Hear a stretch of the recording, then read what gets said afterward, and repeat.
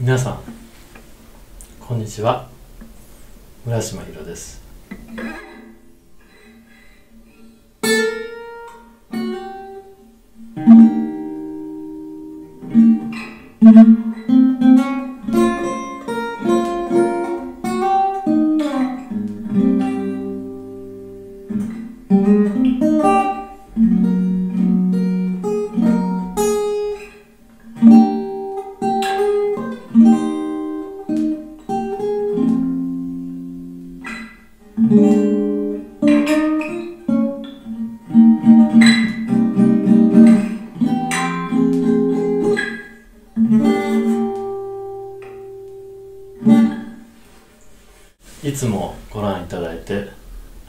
ございます、えー今ギターはちょっと手にしているのはなんかギターを持っていると落ち着くのと楽しい気分になるからです。このギターはねえー、と今日1月9日っていうことでねおそらく去年の同じ日かなぐらいに購入したもので本当にちょうどぴったし1年になります。これはあの島村楽器っていう楽器屋さんね。全国展開であると思うんですが島村楽器さんの、えー、とオリジナルでジェームスっていうあのアコースティックギターですね。フォークギターって言えばいいのかな。ちょっとあの若干小ぶりになっていてちっちゃいのがわかると思います。これあのここにねあのなんでしょう。シールド？線がさせるようになっていてアンプにつないでも音が出るしあとこういうふうにね。っていうふうにも音が出るっていう感じですね。で私最初このギターを買った時にコードがあの全くあの知らないし弾くことも抑えることもできませんでした。でそれから約1年ぐらいあの弾き始めてね。今はねあのこうやって。っ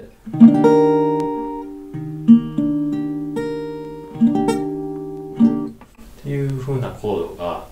ある程度抑えられるようになったんですよね。あのいわゆるあの F のコードっていうところ制覇するやつですね。制覇する。人差し指であのこうやって全部の押さえた上で何かを押さえるみたいな。っていうのもある程度はできるようになってきてでその辺であのギターの楽しさっていうのがある程度こうできるようになってきたんですけど私が思ってるそのここまで弾きたい弾き込んで弾けるようになりたいっていうので今10割ったらおそらく1.5か2もいってないみたいな自分の中でですねだけどそれがねあの先に進むっていうことがまあ一応感じられてるので楽しいかなって思ってます。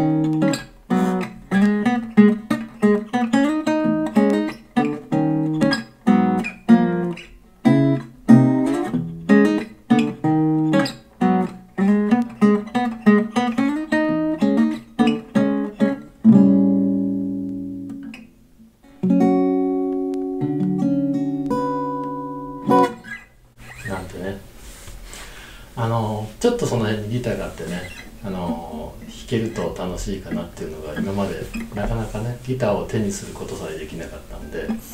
楽しみが一つあの広がりました。あのなんでしょうね。音楽ってあの僕がベースをバンドで弾いていた頃はあのやっぱりあの人前でですねあのベースそれからバンドだからいろんなギターと合わせてで演奏することが目的だって思っていたんですけどえっ、とそうですね。今はあの、YouTube とかいう発信方法もあるのはもちろん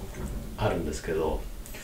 やっぱりあの自分がやっぱり楽しくてなんぼだっていうふうには思うんですよね。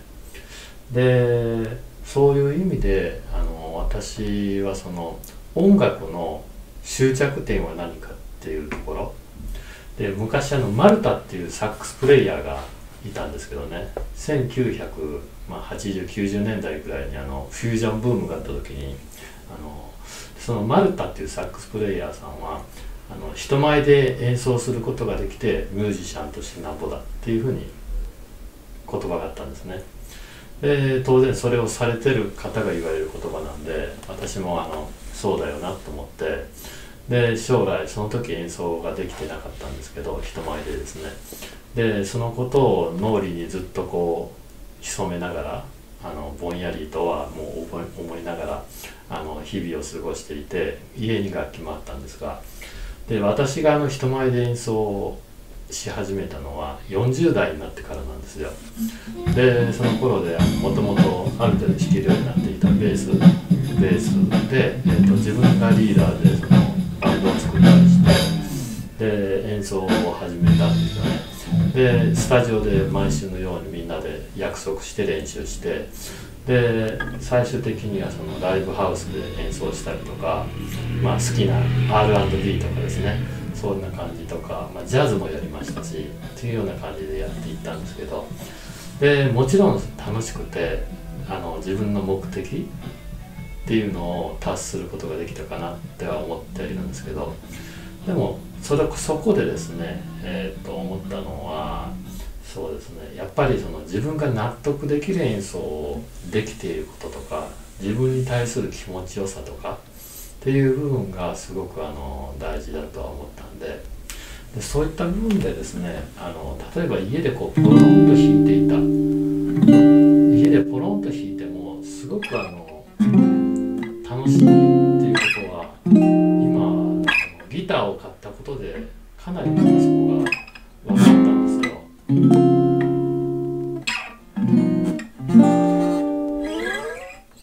っていうことでですねだからあのピアノとかそういったものもあの家で一人で完結してであの表現することが音楽を表現することができますよねで私もそういうふうなことをねギターを手に取ることであのかなりかあのきりと自分で自覚するようにできるようになったっていうことでね。まあただあのねやっぱりバンドとかは人と合わせるとか音楽で人と会話をするっていう楽しさがありましたのでね。でそういった部分ではあのこれからもチャンスがあればねやっていきたいと思います。あとはあのえっ、ー、とこれもねやっていたんですけどあの長嶋治さんの「あのおさむチャンネル」とか LINE グループとかでですねあの演奏みんなの演奏をこうどんどん重ねて一つの音楽にするっていうことを一番最初ねやったんですよね。琴とかハープとか、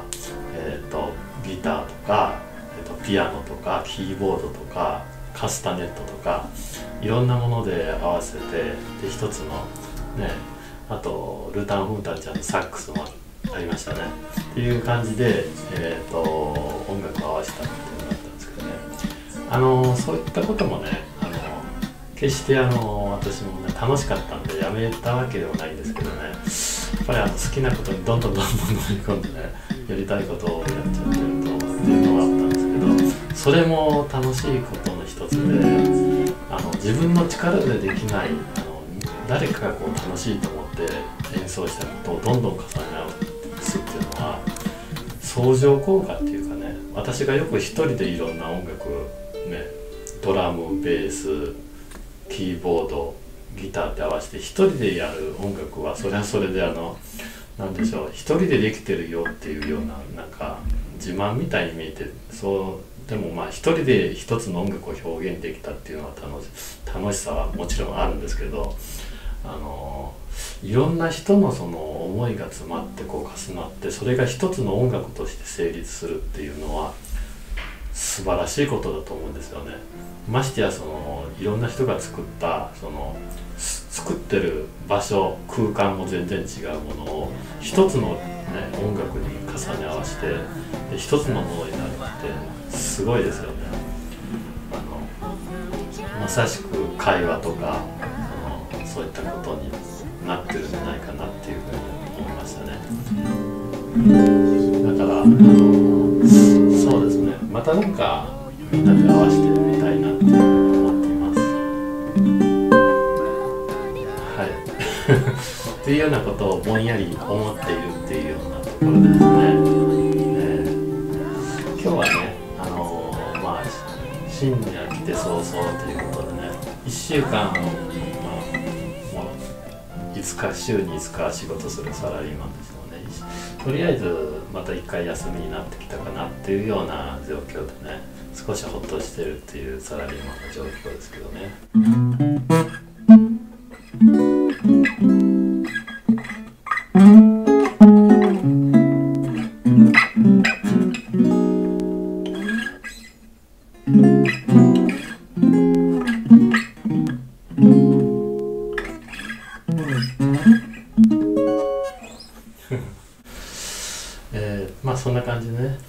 えっと今日はね私は午前中はちょっとあの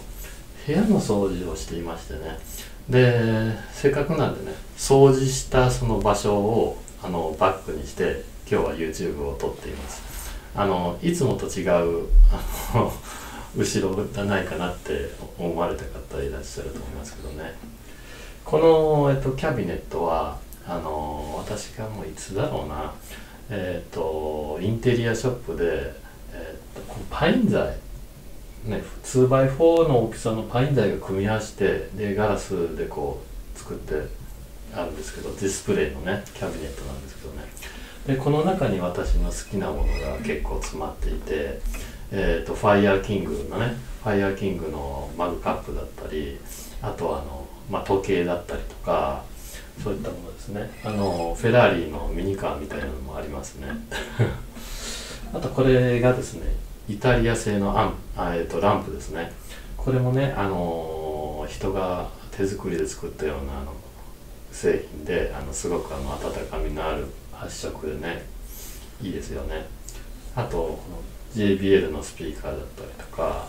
そういった感じでねあのー、まあ好きなものにちょっと囲まれてね、えーまあ、生活してるっていうこのギターもそうですね。あのまあ最終的にはいつかはこの自分の目の前からなくなるかもしれないものかもしれないんですけどね。その都度あのやっぱりあると思うしあのやっぱりそれもあのいろんなものがこう今までの人生でいいなと思ったものを集めているっていうのもね今生きている証なんだろうとは思うんですよね。あとは私は緑とかも好きでね、えー、あのいろんな緑を家の随所に飾ってます。そんな感じですかね。あとあ革ジャンも大好きですよ。革ジャンのねちょっと革もねばっかし買って変態なんですけどね。そんな感じです。はい。それではあの皆さんもね良い休日をお過ごしください。はい。それでは最後まで聞いていただいてありがとうございました。取り留めもないお話でした。はい。ごきげんよう。またね。